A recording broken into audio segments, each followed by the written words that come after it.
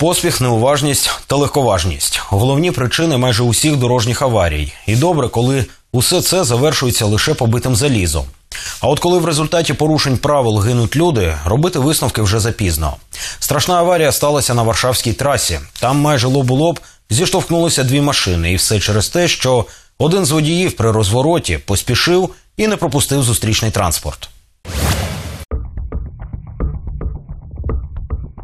Жахлива аварія на міжнародній дорозі під Києвом. Одна з пасажирів загинула, ще троє в лікарні. На відрізку автошляху М07, який серед водіїв більш відомий як Варшавська траса, ще здаля були помітні дві розбиті автівки. Фіолетовий Сузуки після зіткнення так і лишився на дорозі. А от сірий Фольксваген відкинуло ген на узбіччя. Хто знає, якою була швидкість кермувальників, але обидві машини перетворилися на потрощені бляшанки. Дорогу навколо них на десятки метрів всіяло уламками скла. В обох неабияк зім'яло корпуси, оголюючи металеві нутрощі. Також слід зазначити, що і в Сузуки, і в Фольксвагена більше постраждав пасажирський бік.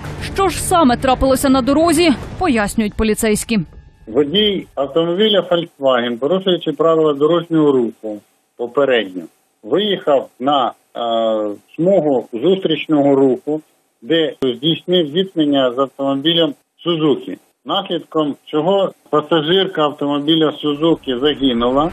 Тож за попередньою інформацією, аварія сталася через те, що кермувальник Фольксвагена на іноземній реєстрації хотів розвернутися з порушенням ПДР та не пропустив Сузуки. Останнє авто було так знівечене, що для того, аби дістати тіло загиблої жінки, довелося викликати рятувальників. До слова, їхня машина зламалась буквально у кількох метрах від місця ДТП. Тож рух цим шосе був ускладнений досить тривалий період, доки рятувальники полагодили власний транспортний засіб та допомогли розпиляти купу брухту, на яку перетворилось Сузуки. Крім загиблої, ще троє постраждалих. А це водій і ще один пасажир Сузуки та кермувальник Фольксвагена були госпіталізовані до лікарні. За фактом у поліції вже порушили кримінальне провадження. Також з'ясовують, чи не був хтось із водіїв у стані алкогольного або наркотичного сп'яніння.